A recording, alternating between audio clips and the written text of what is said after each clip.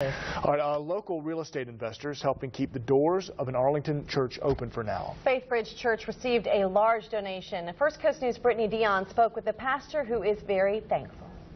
A $500,000 donation from a local real estate investor to an Arlington church in Jacksonville is giving the ministry a chance to start over. And when we're doing the things that matter most to the Lord, we can pray with abandon, knowing that He's going to provide. Pastor Paul White of Faithbridge Church says they have been struggling financially for years.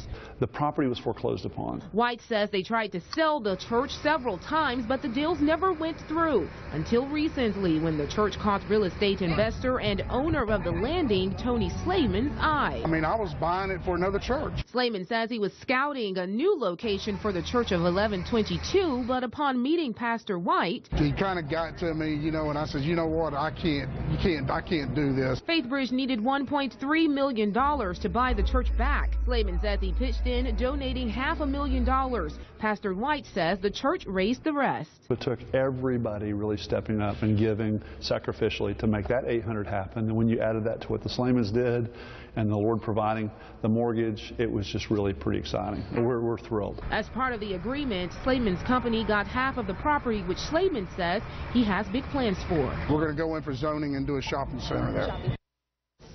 That was Brittany Dion reporting. Now, Sleiman says he's still searching for a new location for um, 1122. Pastor White says the church can now move forward with doing God's work.